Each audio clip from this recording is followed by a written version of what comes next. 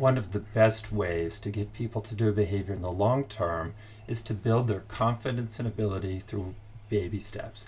Now, I know you've heard the term baby steps before, and sometimes people trivialize that because it's like baby steps. It sounds trivial, but it's not. Baby steps are super powerful. It's a way to help people continue to do harder and harder behaviors. And the way it works is this if you start people out doing something easy, and if they feel successful doing that thing, they're much more likely to do it again because that thing becomes easier to do. That behavior, let's say it's walking five minutes, it's easier to do day two, and naturally their motivation rises up. They're more hopeful and less fearful around that behavior. So as you have them take baby steps, you're letting them develop more ability and more motivation.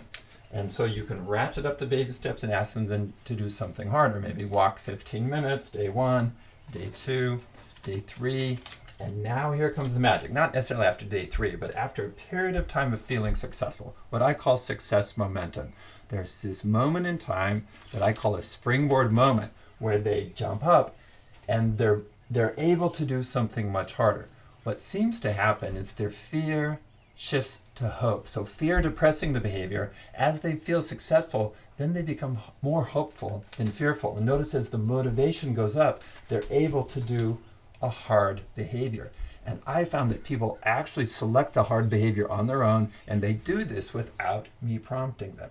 The key is to help them take baby steps, guide them on the baby steps, and help them feel successful. That's how you tap into the power of success momentum and you lead them to what I call a springboard moment. And boom, they'll do these harder things. I have people every week who email me and say, BJ, thank you, helping me succeed in these small ways. I wow, I, I, I was feeling so awesome about what I was doing and my ability to change. I did this super hard thing in my life. So watch for that in your own life and watch for that dynamic in the lives of people you work with.